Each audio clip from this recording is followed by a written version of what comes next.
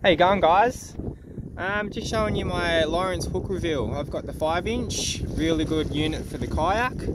Um, I've turned on the Genesis Live option and that's what you'll see. Really good stuff with inshore reefs. Um, I'm going to show you how I did it. I bought a 32 gig SD card and slot him in the SD card holder on the unit and went to map options which is there.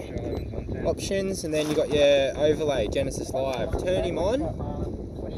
And then you get your Genesis Live options and they're my settings.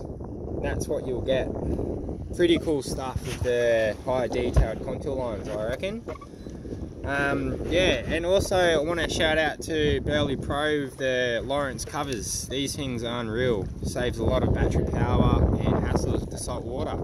Happy days guys. Happy fishing and tight lines. Phew.